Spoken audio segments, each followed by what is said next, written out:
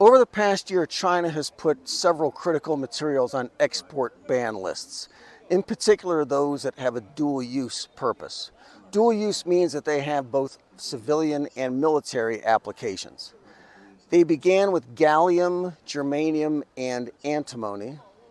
When this article was published, supply chain managers were already having serious problems sourcing those, and prices went straight up. Now there are concerns that more will be added Tungsten, we've highlighted in red because China announced an export ban on tungsten last week.